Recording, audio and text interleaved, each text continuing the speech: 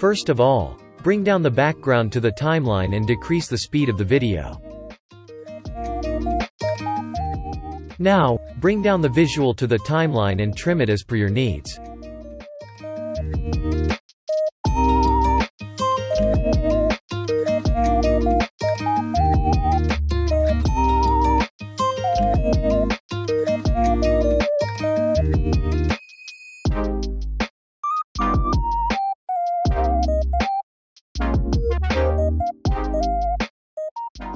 Then, bring down the next visual to the timeline, crop it and add the shape mask effect to the video.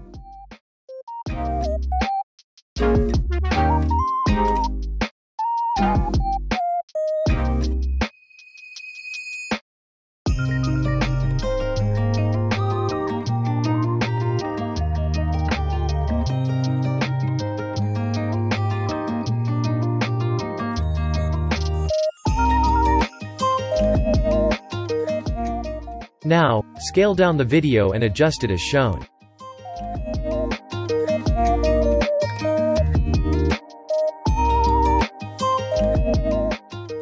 Then, bring down the next visual, copy the effect of the previous visual and paste it on the new visual.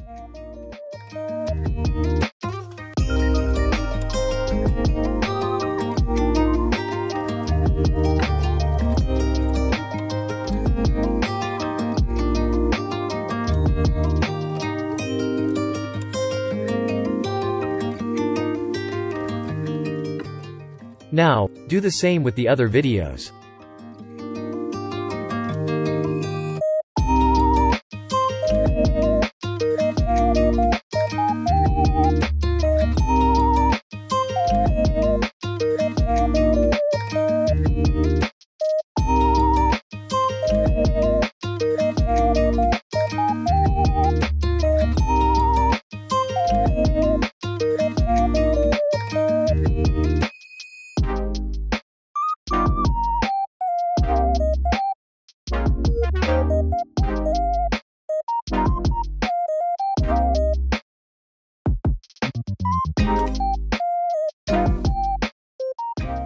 Now, add a keyframe to the first visual, scroll right and add another keyframe. Then, scale down the video.